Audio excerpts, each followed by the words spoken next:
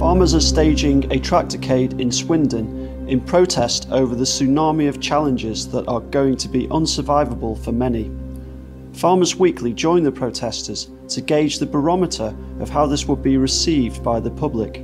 We're really in a, a deep crisis. And so the reason we're doing these protests, well, protests or demonstrations, whatever you want to call them, is to take our message to the cities, to the people, and say to people, you know, this is under threat. If you don't help us and save us, we'll be gone for good and you'll be eating imported food and our countryside will, will fall into either housing or, or scrub. Travel today to support British farming it's going downhill. Nobody supports the farming industry anymore.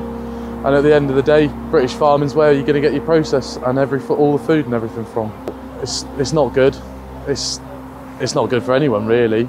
We're all it's costing so much money for us farmers now, where you're going to start running out of farmers and there's going to be no income from this country. The biggest threat to my livelihood is an import of mass produced um, beef and, and lamb and other sort of meat products from other countries where they're able to use um, chemicals and things that we aren't using here. And I don't want to use here either. That's, that's the other thing. You know, even if we were allowed to use these things, I wouldn't be using them because that's against the ethics of sustainable farming, which is what I'm practicing.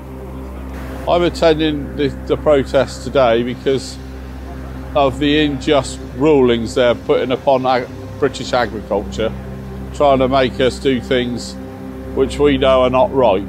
Uh, and when the EA aren't putting their own house in order, that's the main thing that annoys me about the UNVZ rules being administered the way they are.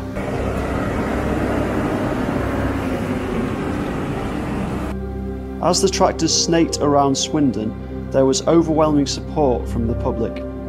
People stopped and cheered and took photos and videos on their mobile phones, while motorists beat their horns in support.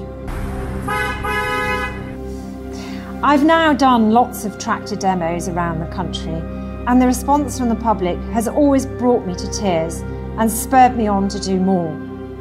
This is our heritage and our identity, and we need to fight to preserve it for our future and for our children's future.